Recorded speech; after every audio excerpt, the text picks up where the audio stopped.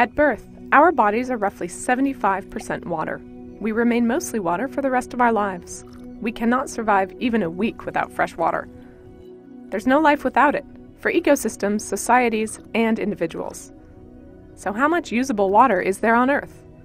Most of the water on Earth is ocean, a salty 97.5% to be precise, and the remaining 2.5% is fresh water.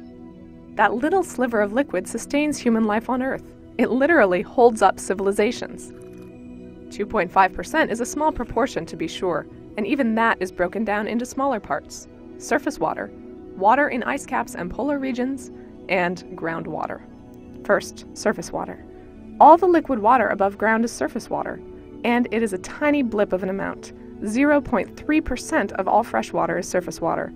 It may seem counterintuitive, but it accounts for little streams all over the planet.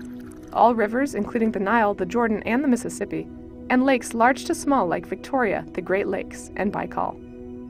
Second, ice caps in polar regions freeze up to 70% of the planet's fresh water. This water is significant, but it isn't available for human use in a regular way. Finally, nearly 30% of all water on Earth is groundwater. As the name suggests, that's water in the ground. It can rest still and deep in huge caverns, or it can snuggle into little crevices of rock and pebble. The upshot? Thank goodness for groundwater. It's invisible to us, but it is much more plentiful than surface water. It is much more reliable and easier to obtain than frozen water. Without groundwater, our societies would be parched. So, how are we using that water? As a result of industrialization and population growth, demand for fresh water skyrocketed in the last century. Where is all that water going?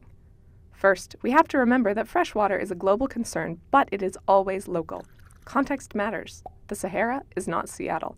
Still, some general information can help us get a handle on major trends. Who consumes the most fresh water? And what sectors consume the most fresh water? First, who? Well, the United States consumes the most water per capita of any country in the entire world, followed by parts of Europe and large industrializing nations like China. But this doesn't tell us what water is being used for. So let's look at it another way. If we ask what kinds of uses the water is going towards, we see a different picture. Agriculture accounts for roughly 70% of global freshwater consumption. Again, remember that the numbers vary by region, but still it's a staggering amount. And this makes a certain kind of sense. We need to eat, we need water to grow food. The bigger the population, the more food we need. And the wealthier we get, the more meat we eat, and the more water is required to produce our food. Furthermore, 22% of all fresh water worldwide goes to industrial uses. This includes the production of electricity, the extraction of fossil fuels, and the manufacturing of all manner of goods, from microchips to paper to blimps. 70% to agriculture, 22% to industrial uses. What's left? 8%.